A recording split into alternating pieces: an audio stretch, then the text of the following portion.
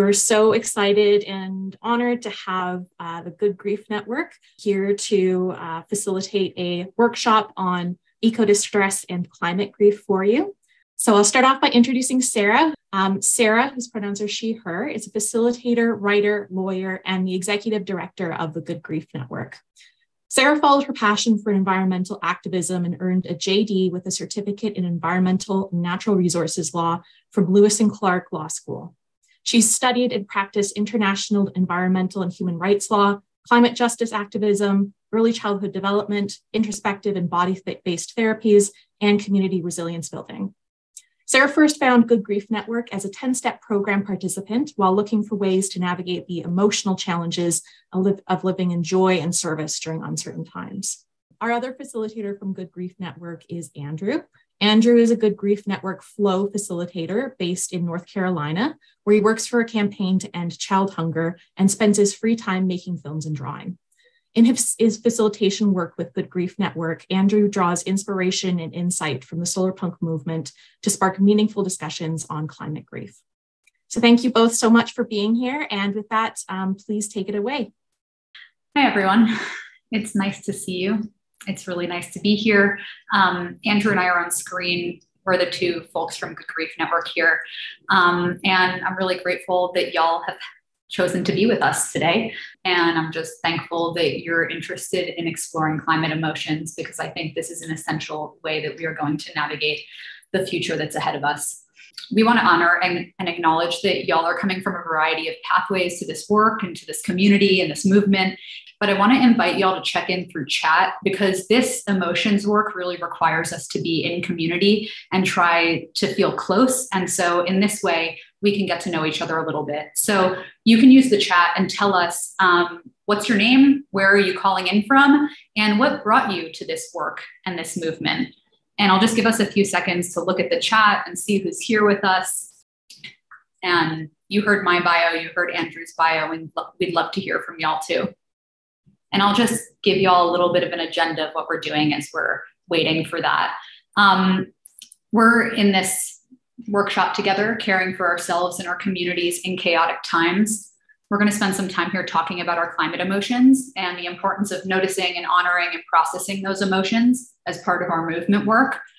And um, we're also going to practice some skills that you can use individually and collectively within your communities to build resilience. We're going to model some exercises for you. And these are exercises that you can use again to work with your own emotions. And some of these exercises won't work for you, some of they will. Some of them will.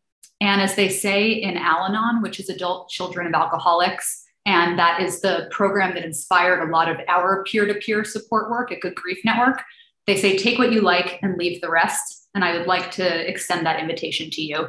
Just as another note, again, Andrew and I are peer to peer support group facilitators. We're not therapists. So we come to you from the lens of folks who have done this work in community, not in the mainstream conventional psychiatric or psychological lens, not from the mental health sphere, but from the peer support community building sphere. Um, and there will be points where we ask you for your participation and your engagement. And as facilitators, we're so used to being in community with you and seeing all of your faces, and we don't have the reactions available to us. So I just encourage you to please engage as much as you can. Use the chat so that we know how you're feeling about things.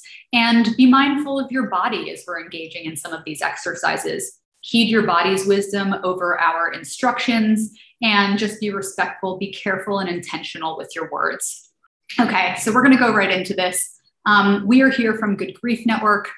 This is who's hosting this workshop, and we are a Michigan US based nonprofit organization and we create spaces where people can come together, metabolize our heavy and painful feelings about the state of the world, and do deep inner work to figure out what work is ours to do in times of great disruption and transformation. We at GGN are best known for our flagship program, which is again a peer support group, and it's called 10 Steps to Resilience and Empowerment in a Chaotic Climate.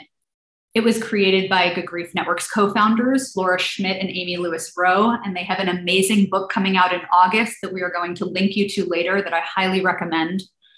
And aside from our flagship program, GGN runs facilitation trainings. We have a teen resilience program, book clubs, journaling programs, vigils that we hold, and other peer support spaces. And like I said, we're normally in a peer support space where we can feel you. So do whatever you can with this chat and let us know what, what's resonating with y'all. And we're going to have Andrew lead us off in a grounding exercise as we often do. Thanks, Sarah. We're starting all of our workshops and meetings with a grounding exercise. Uh, it's how we arrive to our bodies and to the space. We're all coming from somewhere and going somewhere after this. And we want to arrive to these spaces grounded because it helps us to do this work in community from a place of presence and choice and trust and self responsiveness. Uh, because all emotions are welcome, it, the purpose isn't necessarily to calm us down, just to ground us and, and get us in touch with our bodies and, and the moment. Uh, so, this is called the five, four, three, two, one orientation. And it's kind of an invitation to dig into our senses. Uh, you can do it in your head or you can write it down, whichever feels better for you. But uh, to start off, I'll invite you to just get comfortable. If you're in a seated position, maybe getting your feet flat on the ground and really feeling the, the earth and ground deep below you. Taking a few breaths to, to get situated and calm.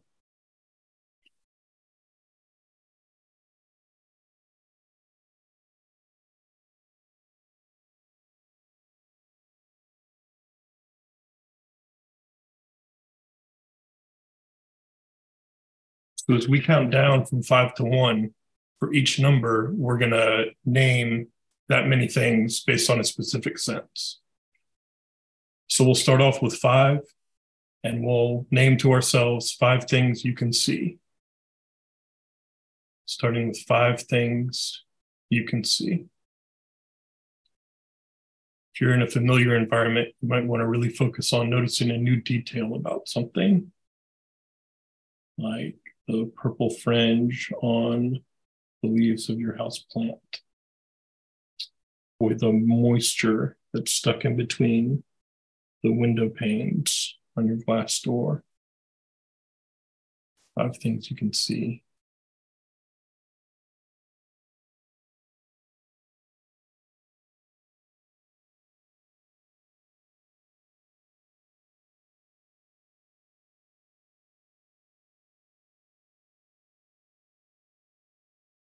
Next, we'll do four things you can hear. Four things you can hear. You can name them in your own head, you can write them down, but these are for you, just for you to experience. Again, if you're in a familiar space, you might really focus on noticing something new if you can about a sound that you hear often the air conditioning, the fridge, stomach gurgling.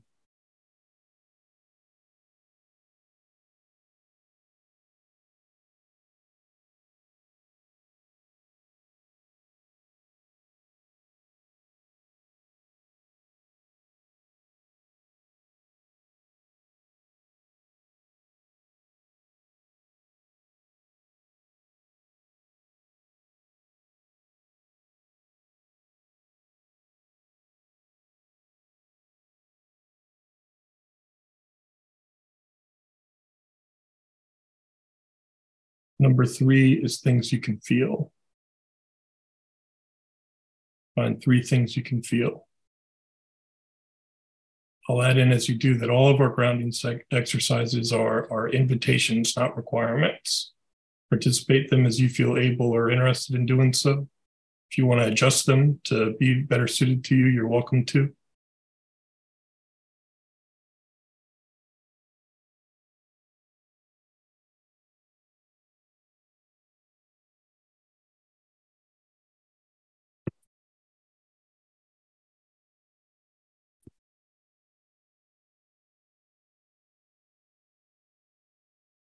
Two is things you can smell. Two things you can smell.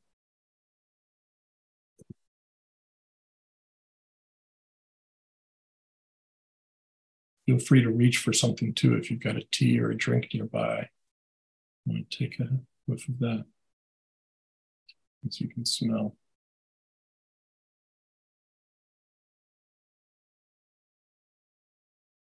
And finally, we do one thing you can taste. One thing you can taste.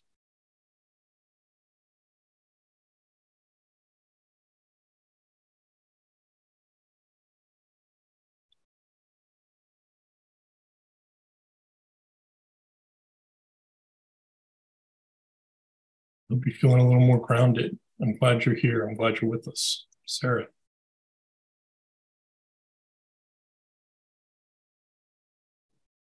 Thank you, Andrew. Hmm. that really helps me. Um, I hope it helped y'all too. It's nice to arrive to a space.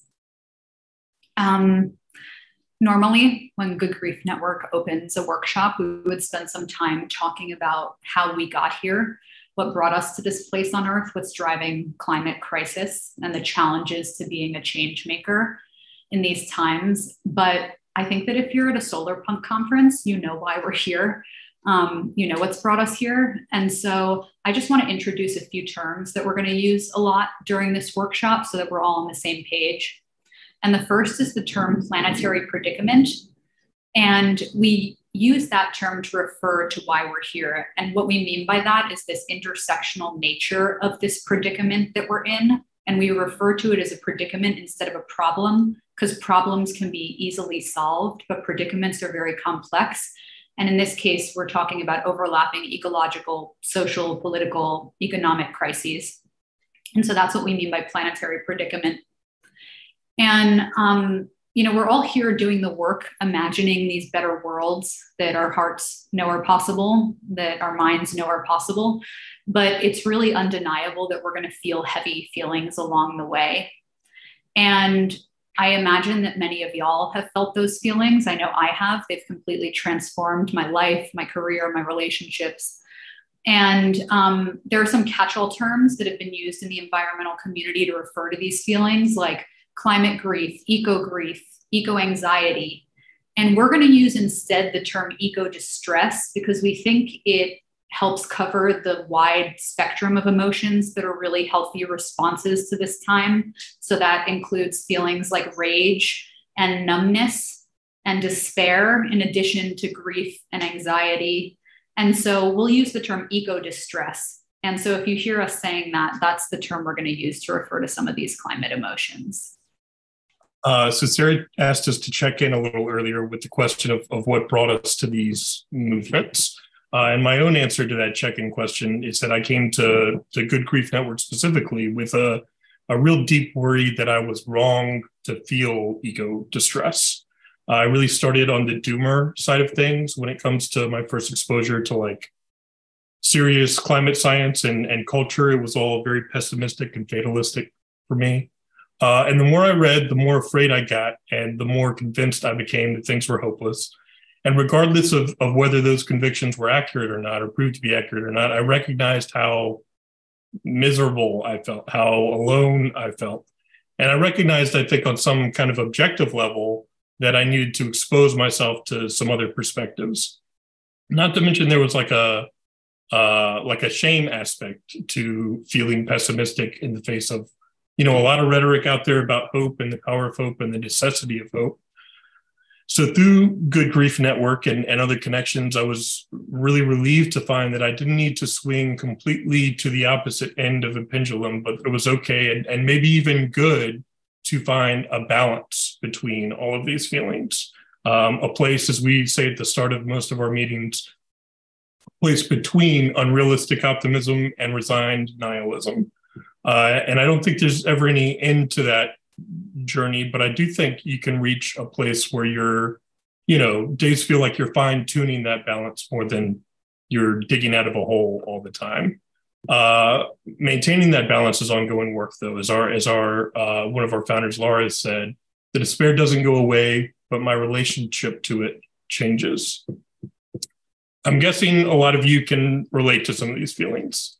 Uh, are you sometimes overwhelmed with heavy and painful feelings over the state of the world? If so, you are not alone. It's normal, in fact, to feel heavy and painful feelings. It's normal to feel despair, grief, hopelessness, helplessness, rage. These feelings are healthy reactions to a deeply troubled way of being, a deeply troubled world that, that we come into, reformed. Uh, but what do we do with them? Um, we normalize them. We reduce feelings of isolation. We try not to pathologize our eco distress or climate grief. We don't think someone is ill if they're exhibiting heavy or painful feelings. Uh, you know, it could become clinical. It could mesh with or merge into depression or anxiety, suicidal thoughts or ideation.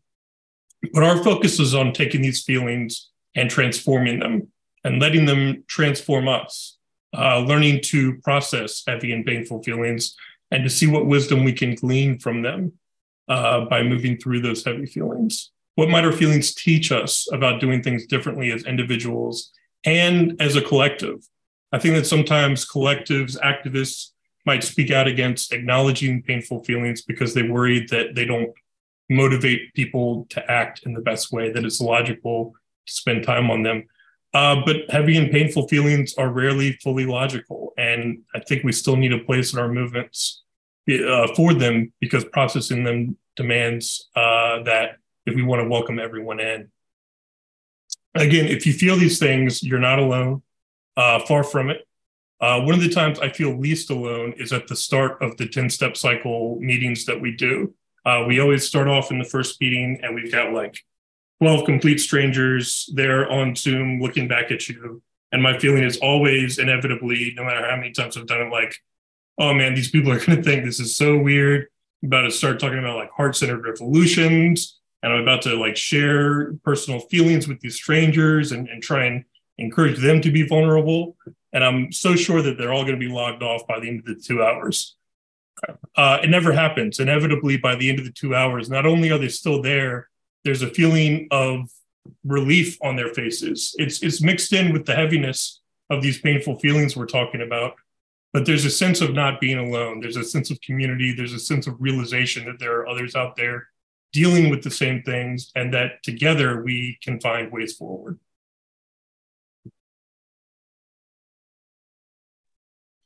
Mm, thank you, Andrew. I feel that too. Um, and actually, Andrew and I have sat in a few 10 step groups together where we've each facilitated each other. And that feeling really does sink in when you leave your first meeting. And the first step is, in our 10 step program is accept the severity of the predicament. So there's this feeling that we're coming in heavy, but it actually is incredibly warming and um, buoyant to feel this kind of support around us. And um, there's someone named Britt Wray who writes the Substack and the book Generation Dread. And she says eco distress needs to rise to the surface and then be met head on for the transformative work to begin. And we really believe that. And we think that the way to meet head on these feelings of eco distress are through processing them, processing them so they can transform us. And I just want to talk about what it means to transform ourselves through our feelings. What does it mean when we're talking about developing emotional intelligence? Or what does it mean to do the emotional processing work? We hear these terms thrown around a lot, but we want to really ground this workshop in some practice. And what we mean by that is the process of taking time to develop skills that help us acknowledge and name our emotions and these vivid inner landscapes that we're living through. We want to learn tools to increase our capacity to regulate these feelings so that we can experience greater states of centeredness, even in really challenging situations. We can expand our window of tolerance. And we want to practice these tools in order to access more agency and more choice and more responsiveness in how these feelings actually impact our lives. Because our emotional landscapes are impacting our mindset, our thinking, our behaviors, our art all the time. And we create more opportunities for connection and opening and opportunity when we're able to be more in touch with these feelings. And so there are a lot of different ways that we can process our feelings and we can cope, and we'll share some of them later. But I also just want to name that this is another take what you like and leave the rest moment. Maybe talk therapy works for you, maybe breathing or exercises involving mindfulness work for you. Maybe it's moving your body. And all of these are really valid ways to process our feelings based on your own comfort. So we get the question a lot why are we sitting around processing our feelings when the world is burning? Why are we sitting here and taking time to talk about this when the planetary predicament is so intense and intensifying all the time? And that's because the dominant culture that we live in is constructed on the premise that we are logical beings, but we are not. We are completely emotional beings that are often responding based on those emotions instead of logic. And like I said, our behaviors, our art, our actions, our relationships are always impacted by our emotional state. And we've been taught to ignore that, right? We've been taught to disregard that emotional state. And in doing so, what we end up doing is reacting based on that emotional state instead of creating the spaces for discernment so that we can have some space between our emotional state and solve really intense problems from a more grounded place. And it's very difficult to tackle a global, nuanced, incredibly complex crisis like the climate emergency if we are in a reactive state rather than a discerning state. So I just want to ground us in that reality that emotional processing is absolutely a survival skill as we're moving forward. And those are the kind of skills that are going to bring us into life sustaining paradigms because when we're trapped in our fear responses, we can't be creative. And we need to be able to start being creative and noticing the openings, noticing the spaces for new thinking.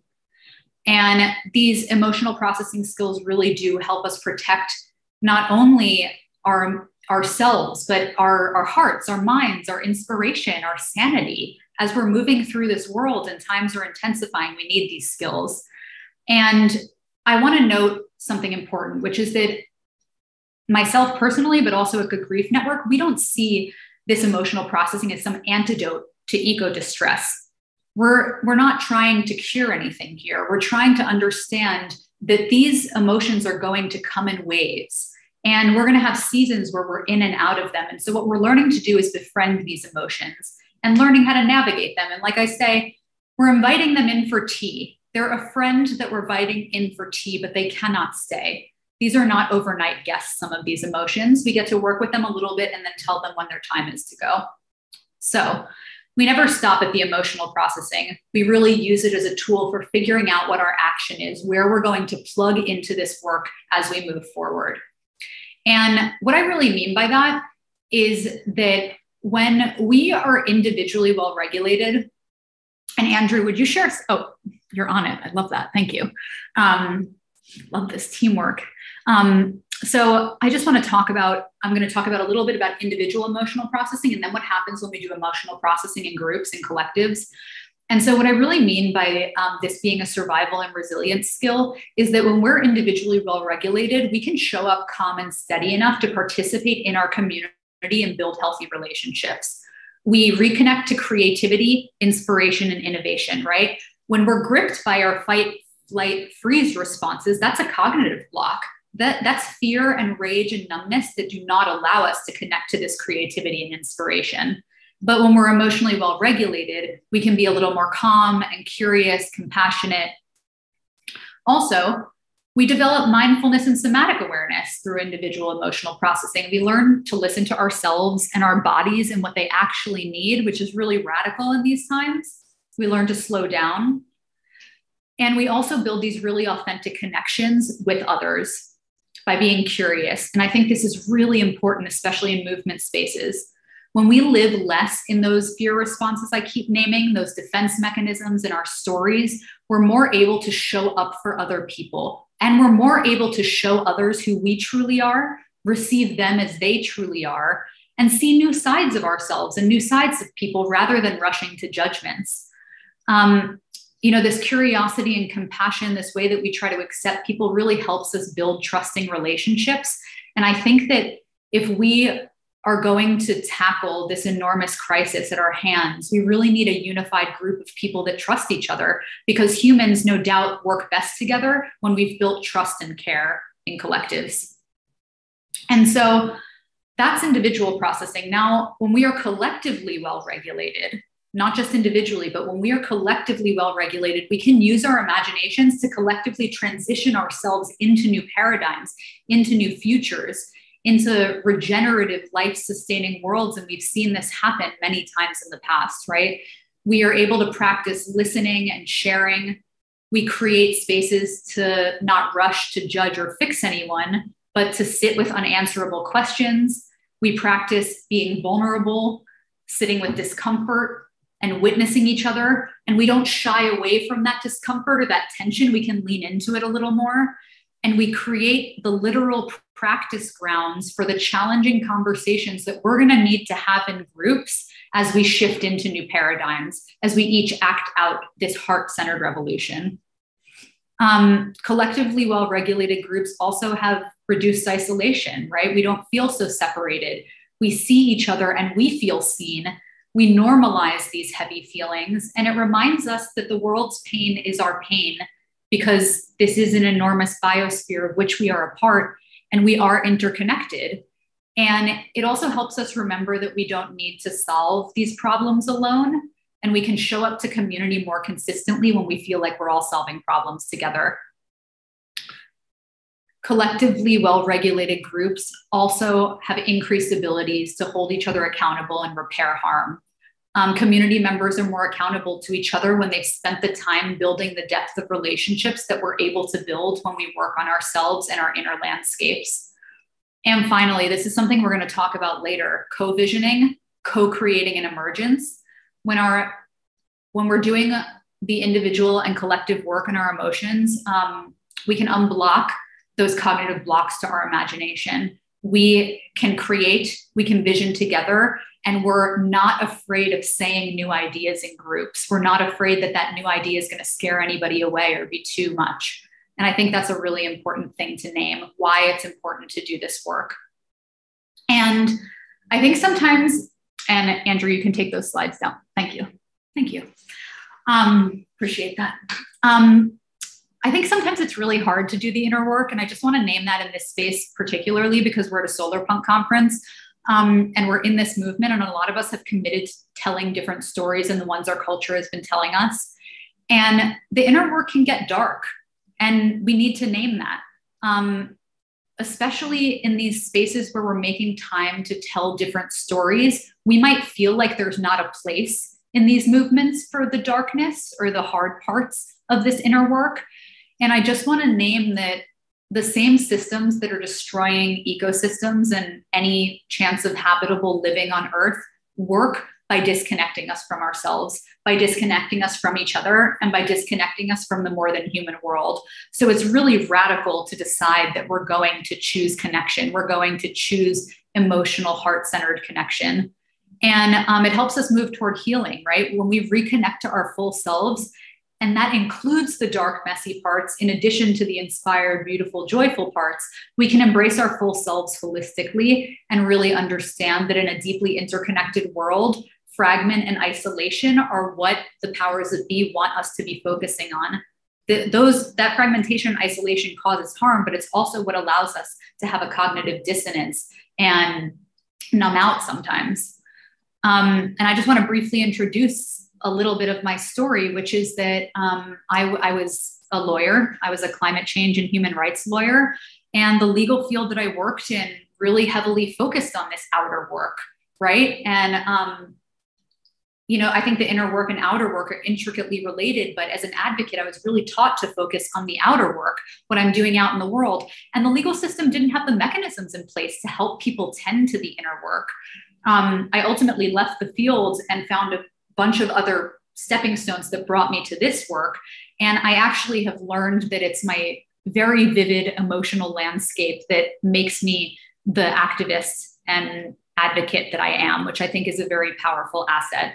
And what I've really learned since starting to tend to that inner work in my personal and professional life is that the inner and outer work are intricately related. They're inextricably related. Um, the my inner work sustains my outer work. The time I spend on myself is why I can keep showing up in my community. And I think that it might be the case with many people, with maybe many of y'all. When we attend to our nervous systems, when we heal our traumas, and we process some of these really heavy feelings, we're better resourced, right? We're better community members and we're more nimble as change makers. Um, and I think we really just need to touch these things that conventional society doesn't want us to touch, right? Our cultural norms drive us to overwork and burn out so that we're not thinking about these feelings. We tell ourselves we can't afford to do the work because there's so much else to, we can't afford to do the inner work because there's so much work out in the world to do. But it's, I think, this avoidance of the inner work that allows us to stay disconnected and maintain that cognitive dissonance. Um, so, what we're really trying to do is ask new and ancient questions and develop a dedication to worldview change. And that requires us knowing ourselves. And knowing ourselves require us to, requires us to spend some of this time on this inner work.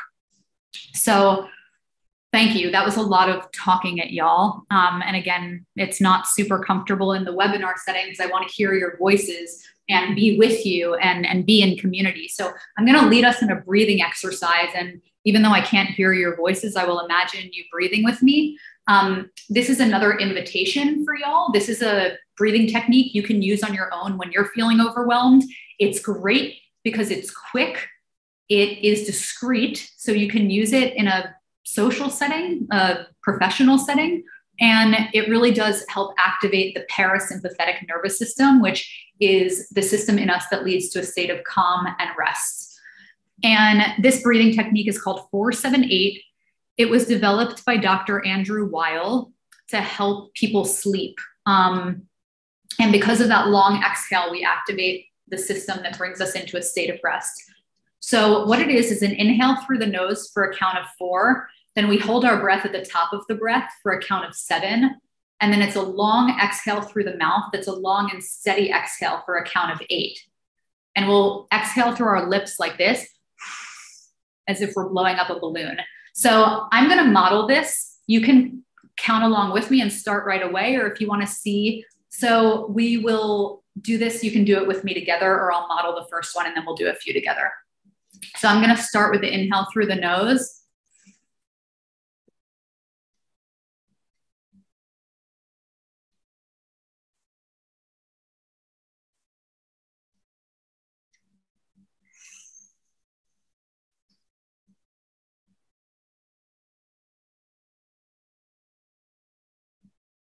Okay, so again, that's an inhale for four through the nose. You kind of hold your breath at the top of that inhale for seven and an exhale for eight. Y'all want to do one together? Cool. Okay, let's breathe through our noses. I'll count you off.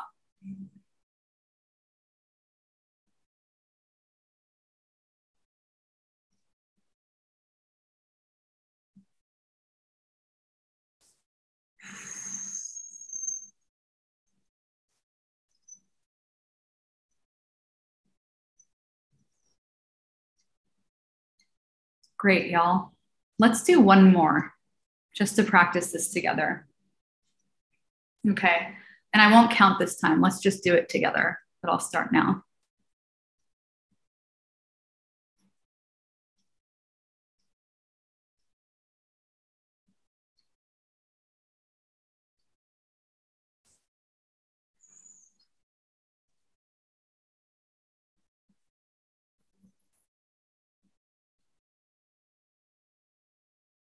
Thank y'all. I want to invite you as you do this in the future to just put a hand over your heart and notice how your heart slows on that long exhale. It's really amazing. These are ways we can bring ourselves back into a state of centeredness when we feel overwhelmed, and they're really easy pocket tools. Thanks for sharing the screen, Andrew. you bet. Thank you for for leading us in that, Sarah.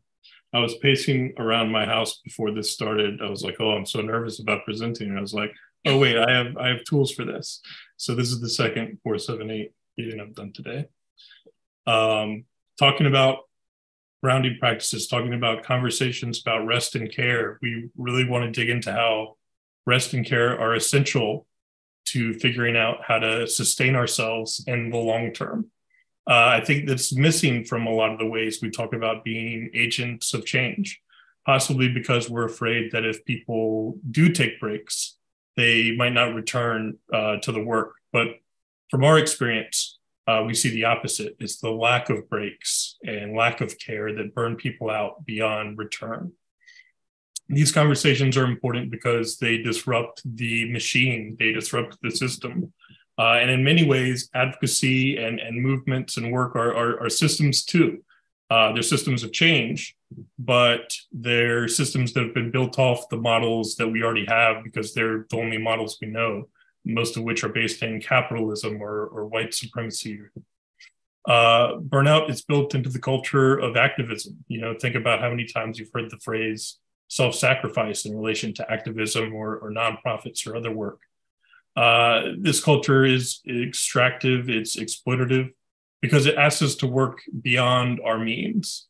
Uh, we perpetuate the problems that we're trying to solve within professional and movement spaces when we do things like work without taking breaks, work without rest, when we reward people who overachieve or overwork, or when we glamorize the grind or sleepless nights. Uh, you know, these things are doing a disservice to the work itself and the people that carry the work forward. And they're doing a disservice to future generations who are looking to us to model a way forward, a new way forward. Our response to this needs to be normalizing different ways of practicing self care or prioritizing breaks and rest and realizing that this work can't continue without them. Uh, even adjacent to activism and movements, I think just staying aware of what's going on in the world can be an exploitative system. Uh, you know, say say yes in the chat. Maybe if you follow more than one source of climate news online, and then say yes again in all caps if you've ever had to take a break from that climate news because it's too overwhelming. Uh, I feel I think I feel like a compulsion to absorb everything that I can when it comes to that kind of stuff. And it feels like the compulsion often transitions into a responsibility feeling to absorb everything, responsibility to be informed, to figure out what information is correct, to have the latest information that's coming faster than ever, and also to absorb like that pain we see going on with other people in, in, in the news. Uh, we also want to look at changing our culture around rest and self care as it applies to stories and narrative, right? There's a capitalist and white supremacist impulse to always be measuring ourselves by our productivity. How many pages did I write today? How many prints have I sold this month? And so part of our work too is to fight against that, disrupt that thinking, give ourselves permission to ignore those impulses sometimes. Uh, it, that it's okay to be still, that it's okay to do nothing sometimes we can't create stories or movements or new realities without some rest. There's validity in doing nothing. Witnessing is not a passive act. And uh, being there for others, being a person of non action, it's, is not a wrong thing. I love this phrase, non action. There's uh, an eco philosopher named Donna Haraway who thinks a lot about new ways to tell stories. And this is a quote from her. She encourages us to think about the children of compost the children of the soil, of the underground, of the dark, of the night, of incapacity, of non action, of non success. Not as a bad thing, but as that soil within which human souls, and perhaps not just human souls, are made. So I love this idea of the compost pile where things are being reabsorbed and reborn and we know these extractive systems, in fact, not just us as storytellers, uh, but the stories themselves, right? You know, we've all heard these narrative rules that require three acts and a resolution and a protagonist who's relentlessly pursuing a goal. And, and so I wonder a lot with that Haraway quote about uh, what a protagonist of non action looks like. Uh, just like we said about the news, we have more to process and digest than ever right now. And so maybe that that idea of a compost pile is what's needed for some of us, at least some of the time. Uh, and so, in that spirit, we're going to, for our next grounding exercise, do absolutely nothing. Um, on the one hand, no phone, no new browser windows, no Discord. I'll check the timestamps later. But on the other hand, no special breathing, no mantras, no instructions, this is an invitation to just be, just exist in the compost pile, however feels right to you. So we'll put a little timer for just a couple minutes on it, and this time is your own.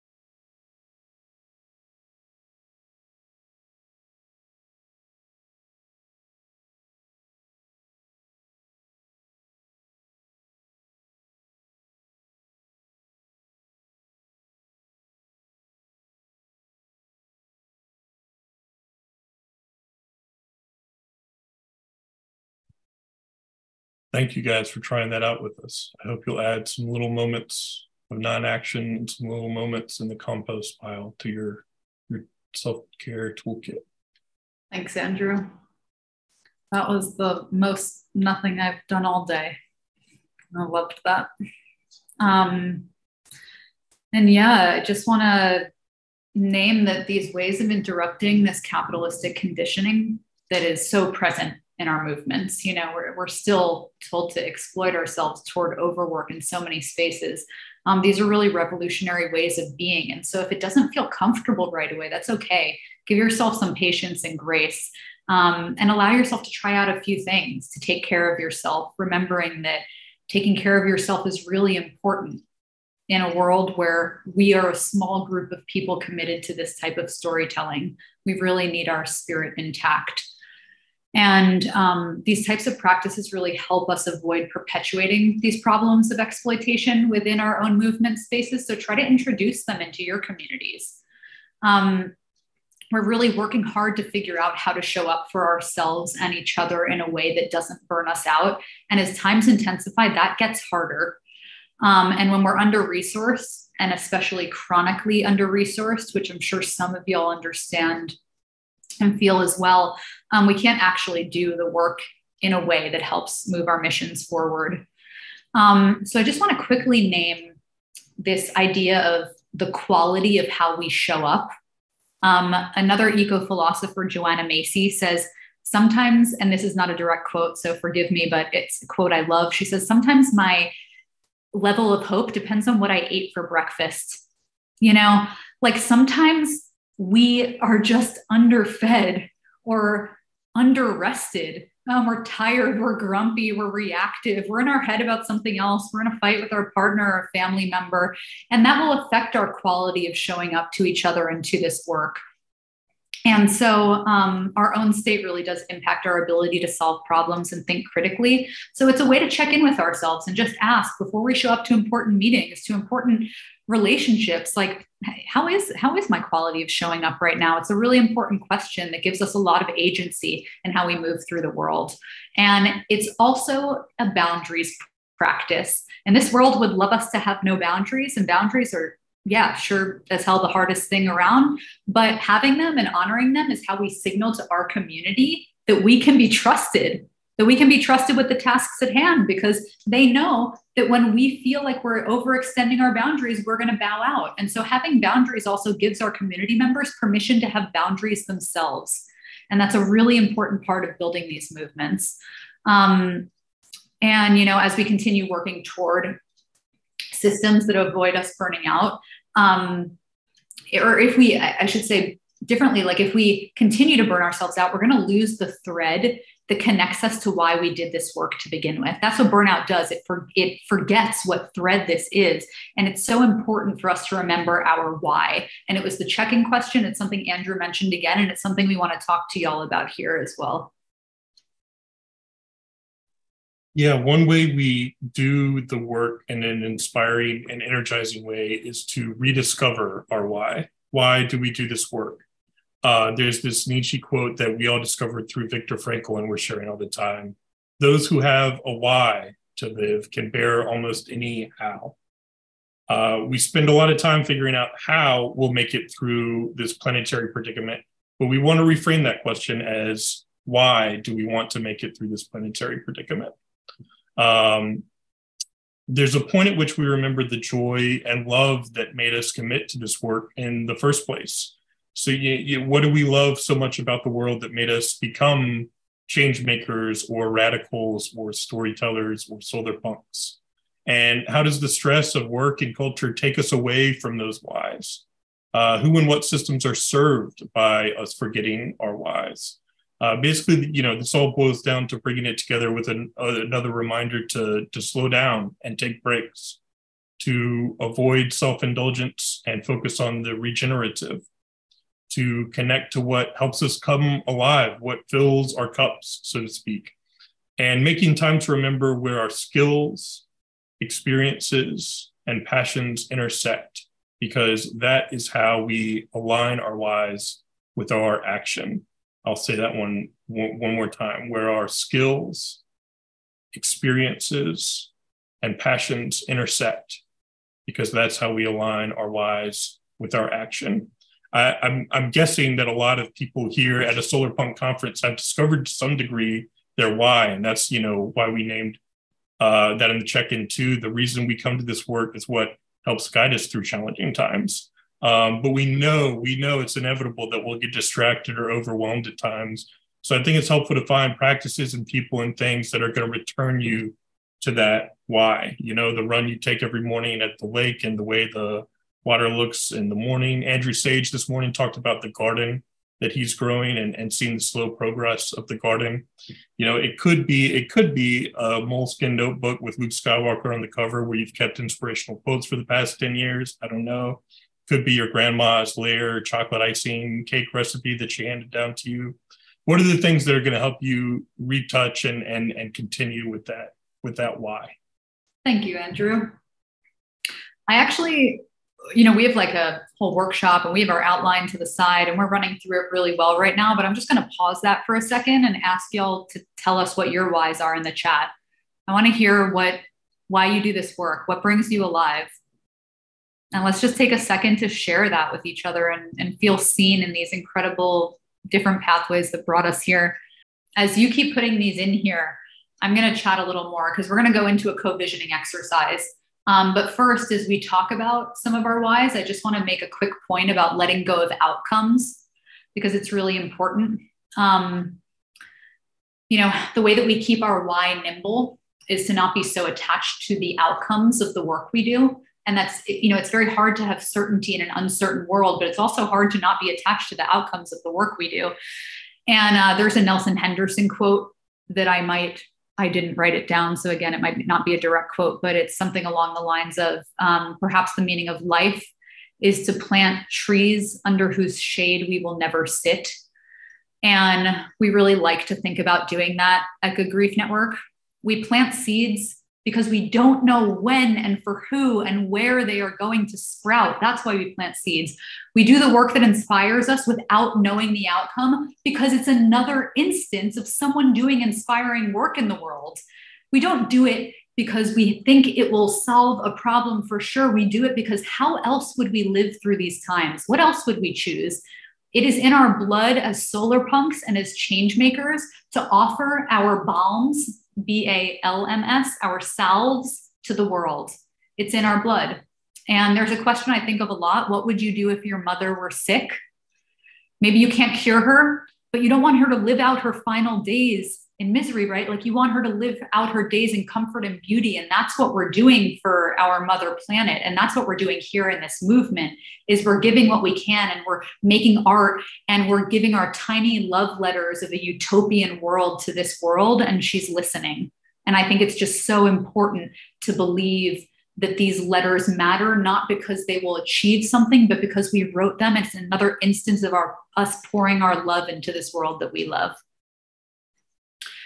So Andrew is going to lead us into the beginning of a co-visioning exercise that we do a lot at Good Grief Network.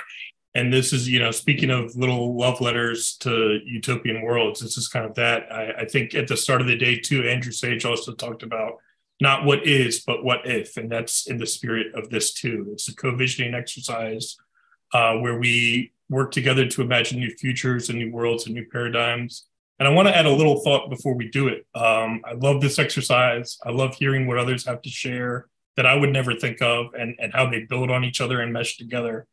Uh, and today at the conference, throughout the day, I've, I've heard so many inspiring and like lucid and clear ideas for building a future. Uh, but I do want to admit that I, I find it personally really challenging sometimes to envision that future. Uh, I think it's for two reasons. One, it's it's overwhelming sometimes to think of all the work that it takes to uh, achieve the world we want to make. And, and two, I think it can require decentering ourselves often to build this world, giving up privileges based on race, on class, on nationality, and consciously and unconsciously that can that can be uncomfortable. It's a reason you know it's so important we think to find allies, to build partnerships, to create inter- intersectionality for stronger movements and and deeper perspectives. Uh, but for both of these reasons, I, you know, we admire the strength and the courage it takes to gravitate toward disruptive, hopeful narratives and instead of the dystopic ones that, that kind of force us to resign ourselves to to to believing we can't change things. Uh, and so I, I guess i want to begin the the exercise with an invitation to be courageous in naming things without being sure how we get there. That's a big part of what this is about. Great Thank you, Andrew. And I want to give credit to our founders for creating this exercise because it's really powerful and it has transformed me so many times over. Um, and those people are Laura Schmidt and Aimee Lewis Reau. So, this is our co visioning exercise. We're going to ask three questions, but we're going to ask them in order. I'm going to tell you what they are first so that you understand the full exercise, and then we'll go through each one individually. The questions that we are going to ponder together are first, what are we bringing with us into these new paradigms that we're creating? The second is, what are we leaving behind? What's not coming with us to these new paradigms? And then the third is what's a trait of your personality or each of our individual personalities, but we're speaking to each of you specifically. What's a trait of your personality that you want to see replicated in the cultures of the future? What's something you love about yourself that you hope is part of our human culture? So, we're going to start with the first one, and I'm going to invite you to answer in the chat. So, we're going to start with the first one. What are we bringing into these new paradigms? And what I'm bringing in is community gardens on every corner.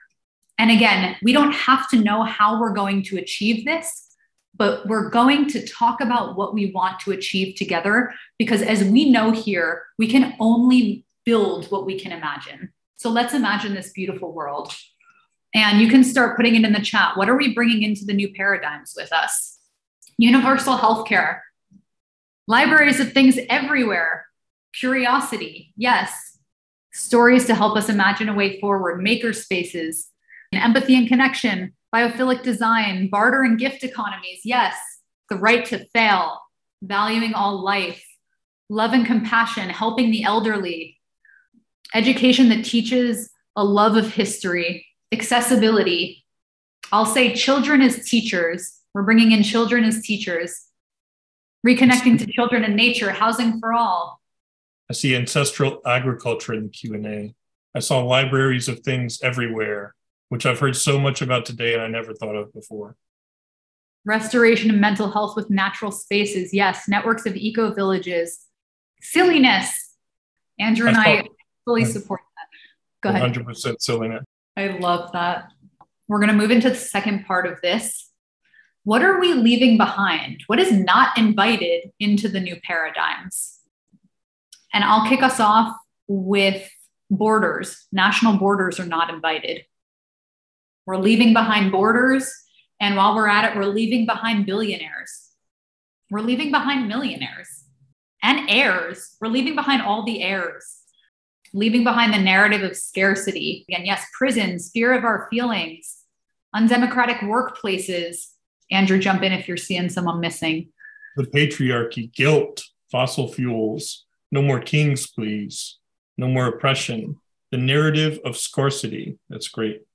Yes. Fear, fear of our feelings, leaving that behind. Yeah. Colonialism, waste, weapons, pollution, technological hopium. Yes, ignorance. Speciesism, mindless consumerism, commodification of basic needs, weapons. Yes, y'all. Nihilism, the grind. We're definitely leaving behind the grind when I grew up, the grind was a dance move. And now it's become something much less fun. Okay. Unmet basic needs plastic, single use plastic, capitalism, anthropocentrism. Nice, y'all. Yeah, advertising. Love that.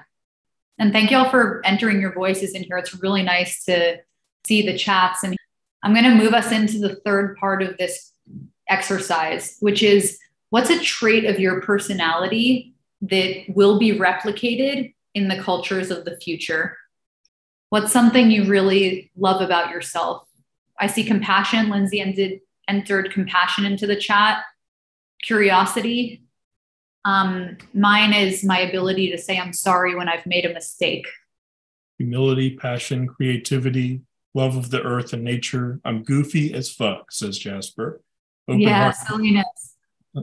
I've been told I'm a good listener, deep sense for beauty, empathy, awareness, vulnerability, self reflection, intuition, acceptance and celebration of diversity, joy and failure, resilience, ability to hold space for others. Right on. Yeah, humility, seeing others happy, desire to keep learning, continually experimenting, a passion for knowledge.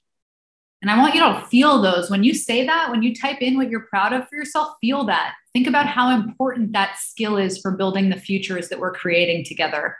It's indispensable. An open mind, a nurturance of others, freedom to be oneself without fear, scrutinizing things openly. Jar collection, Australia, I'm with you. My, my jar collection's coming too. I'm definitely a jar lady. Resourcefulness. Cats. The cats are definitely invited. Skepticism. Nice, Reb. Thank y'all. We've got more cats and discernment. Nice. The ability to be discerning. I guess for a cat group. I don't know if I would have guessed that, but nice. Thank y'all. Um, it, it, things are still pouring into the chat, but we only have five minutes left in this session, which is going to cut our time for questions a little short. But I just think this exercise is so powerful that I really wanted to create space for it. And definitely, that's a hell yes to SASS, bringing SASS into the future cultures. Um, look at the worlds that we're creating together and look how many people know their role in that world already. That's beautiful. And we only have a few minutes left. I wonder, Andrew, can you just share the screen about GGN for me, please? Um, before we get, um, it's actually the next one, but thank you. So, um, you know, we think it's really important to do this work in community, and that's because a single nervous system can not hold all of these emotions that we're all holding. Um, there's a quote we really like Ours is not the task of fixing the entire world at once, but of stretching out to mend the part of the world that is within our reach. And that's from Clarissa Pinkola Estes. And that's what we do at Good Grief Network. We create spaces for everyone to find their role in meaningful action, whatever that means to you, wherever your experience and skills and passions intersect. And we do this in community. And I want to invite you to join us. There are a bunch of ways you can join us.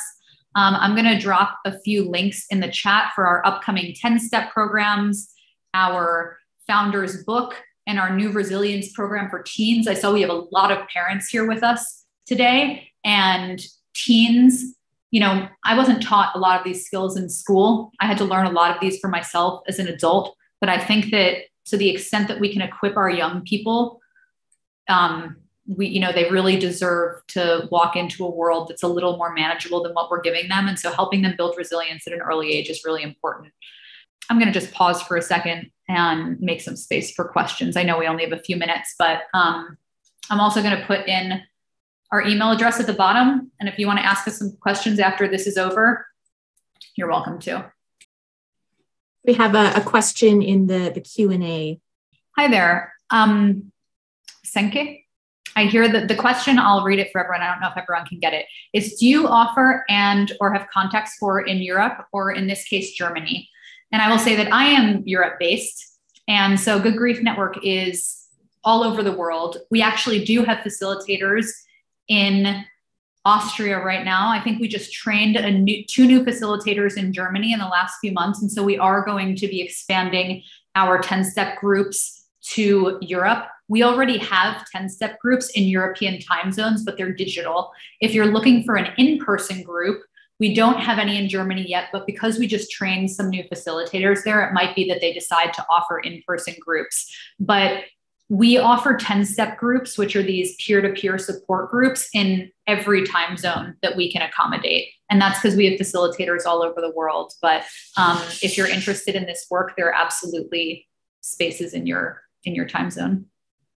And Claire's reminded us that you can use the raise hand or Q&A feature if y'all have any questions. And because we only have a short amount of time left, I'll just say, well, maybe one more question's coming in that we're really grateful that you chose to spend this time with us today.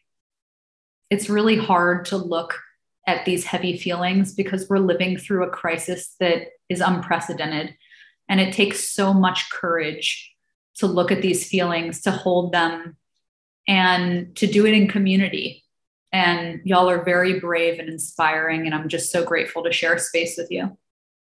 I want to remind y'all that we'll send out a packet with some of the resources that we use today, some ways that you can build community yourselves and with us, and some other ways to access this peer support work in the future. Andrew, is there anything you want to say? Just another thank you for joining us, and thank you to the organizers too for, for working with us to make this a great session. Yeah, thank you all so much to the Solarpunk organizers. They've been doing so much work for this and so responsive through emails. It was really easy to coordinate with them. We're really grateful for your work.